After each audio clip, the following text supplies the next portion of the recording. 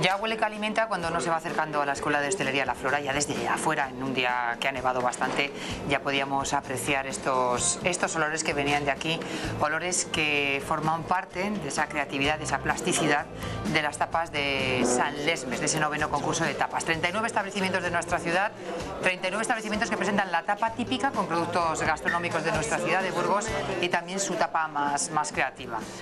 80 platos, José Luis, los que estáis degustando hoy como, como jurado, ¿no? Para saber quién se llevará ese báculo. Ese báculo, 78, para 78. ser exacto. 78. 39 establecimientos. Efectivamente. Hombre, sí que es cierto que se nota, bueno, que el nivel indudablemente ha subido y es lo que decíamos estos días de atrás, que del primer concurso de tapas, ahora cuando ves las fotos de ese primer concurso, a esta novena edición, ves la enorme evolución que en esta mini cocina pues eh, se ha ido desarrollando. La verdad es que este año, por ejemplo, como era previsible, hay unas gratísimas sorpresas y además se nota cómo e, ese pique que hay entre los profesionales del sector se transmite en concursos como este. Un antes y un después, quizás después de la capitalidad de la gastronomía, donde han echado el resto.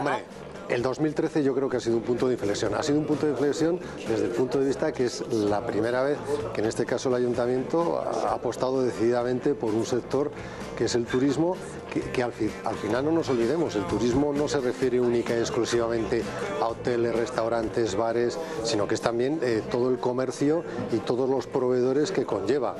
Transformación, imagino, en la forma ¿no? de elaborar ese producto, mm. porque ese producto ahora está en la novena de las nueve ediciones anteriores, nuestro pues producto típico burgalés, el producto bueno, pero imagino que ya las metodologías ¿no? de elaborar esta pequeña obra de arte de pequeño formato que es la tapa, es lo que haya cambiado. Ha cambiado, además se nota, se nota que hay un trabajo de técnica, es decir, ahí las escuelas se nota que, esa técnica que aprenden eh, los chavales en las escuelas, pues luego lo transmiten a esos platos.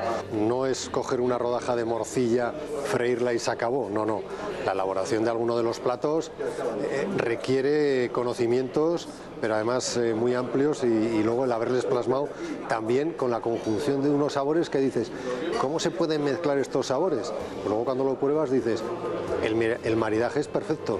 La tapa que bueno, ya fuera del concurso de San Lesmes, cuando uno viene de turismo, viene a Burgos, ¿no? se pasea por el centro de nuestra ciudad, va a diferentes bares, diferentes restaurantes y quizás es una carta de presentación instantánea, muy rápida, con una caña y donde hay que echar el resto. Sí, yo creo que sí. Yo creo que además eh, Burgos en estos momentos con, con, el mundo de las tapas no tiene nada que envidiar a ninguna de las otras ciudades que podamos tener como competidores, como destinos turísticos eh, que sean competencia directa a nuestra ciudad. Yo creo que en estos momentos el, nivel de la gastronomía que, que tenemos en Burgos es un nivel alto y además partimos de una cosa que es bien sencilla. Tenemos unos platos, unas materias primas que son extraordinarias, con lo cual al final tampoco es muy difícil hacer y confeccionar buenos platos porque le juntas con materia prima de primer orden, de primerísima calidad, con una técnica eh, en algunos casos que ves muy depurada y el resultado es fantástico. Hablamos de tiempos, o sea, hoy valoráis estas tapas. Hoy se valoran todas las tapas, entonces pues estamos jugando ahí con, con la presentación, con lo que es el sabor de la tapa, con el precio, con el precio, porque aunque tenemos un tope máximo de 2,50, eh, no es lo mismo una tapa que, el hostelero cobra 2,50 a una tapa que el hostelero cobre 1,50.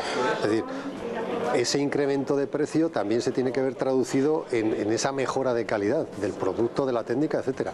Con lo cual eso también se valora. Y al final hoy lo que tenemos que coger y es decidir, bueno, a ver cuántos eh, establecimientos han presentado unas tapas, eh, que al final son 8, 10, 12, 14 tapas eh, que destacan respecto a, las demás, para luego in situ comprobar que bueno que esas tapas efectivamente son las que se nos han presentado aquí y que efectivamente esa, esa técnica que, aquí nos han presentado es la que es.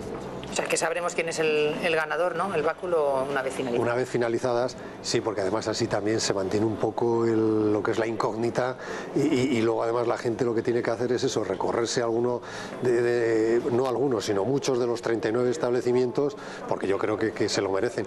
Y además, curiosamente, no se limitan al centro, al centro de la ciudad, sino que también tenemos en los alrededores establecimientos que francamente lo hacen muy bien.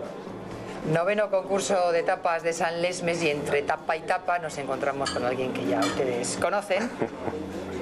Buena calidad, buena, eh, buena valoración la que, la que llevamos hasta ahora de las tapas que se están presentando para este noveno concurso de San Lesmes. Yo creo que buena calidad, eh, muchas ganas de hacer las cosas bien eh, y yo creo que pues un gran interés por parte de la hostelería de, de que este concurso tenga un nivel yo creo que muy muy importante un nivel que no nos hace que no, podamos, no tengamos que envidiar a ninguna ciudad del norte de España de esas que conocemos con calidad de, tapas y de gastronomía. Bueno, tiene tiempo la gente de Burgos hasta el 1 de febrero ¿no? para ir a degustar esos 39 establecimientos, dos tapas, la tapa típica con producto de aquí y la tapa ya más libre, más creativa, nos comentaba José Luis, que además es un recorrido amplio ¿no? por, toda, por toda la ciudad. Se trata de que la gente pues circule o discurra por toda la ciudad, lógicamente. Eh, bueno, vemos que el nivel de participación suele ser similar todos los años, hay gente ya que son clásicos participantes, se van renovando algunos cada año.